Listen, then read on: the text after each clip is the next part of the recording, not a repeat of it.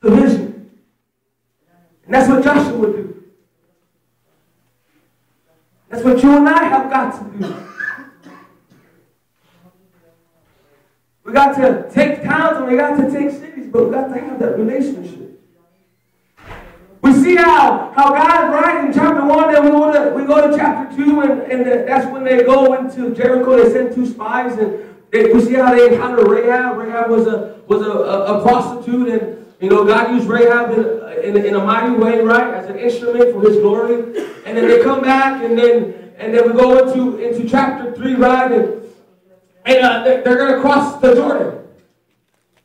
Right? And, and, and God, you know, just like Moses, he they got to the to the, the Jordan River, and God parted the Jordan for them, and they walked on dry land. And it's just like you and I, right? You and I have gone through some things in life, right? When we get to that point in life, and then we see God, we see God's hand just come into action, and we see Him part some seas in our life, right? And we walk on dry land. Right. Don't even get dirty. Don't even, don't even bleed.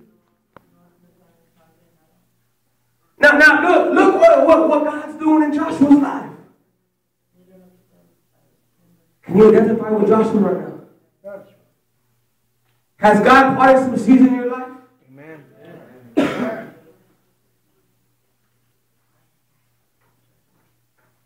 They crossed the Jordan, right? They're going to go and conquer Jericho. They go, and we see in, in chapter 5, I'm just giving you a brief outline before I get into the, into the message, okay? Get into, in chapter 5, we see that Joshua encounters the pre-incarnate image of Jesus Christ. the angel of the Lord of hosts. And Joshua sees him, and he says, You know, what, are you with us? And God says, Yes. He says, Take your shoes up because you are standing on holy ground.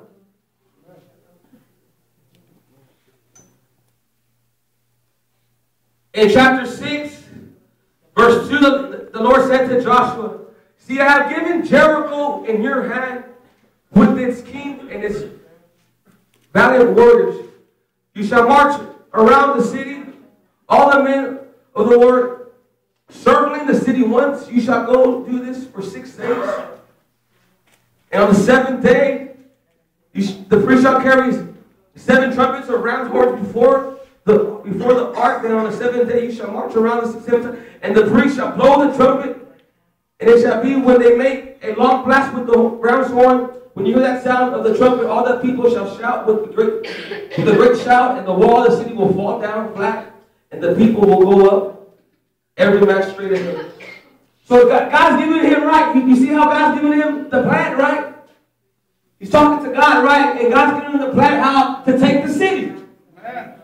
When God calls you I to take cities, He's going to give us the plan. He ain't going to send us out there. No, no. He's going to give us the plan. And that's the important thing of having that relationship with Jesus Christ.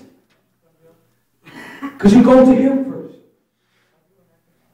You see how before he's going to every victory, he's talking to Jesus. He's talking to God. And God's showing him what to do. So they, so they go and, and they take Jericho. They do what God commanded them to do.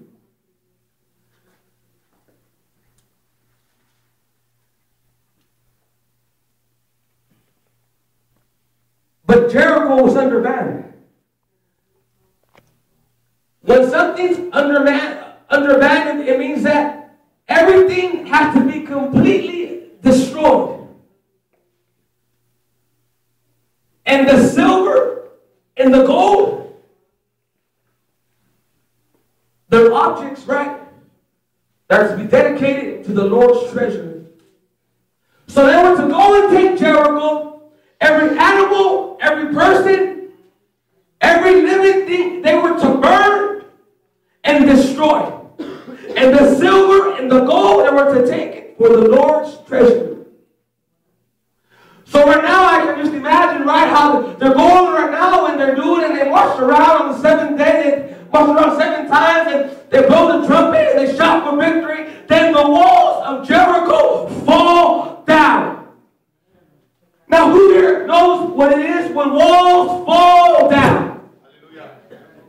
I'm pretty sure some walls in your life have fallen down, right? Amen. The walls of, of heroin, the walls of, of alcohol, the walls of prostitute, the walls of Xanbars, the walls of Xanax, the walls of pornography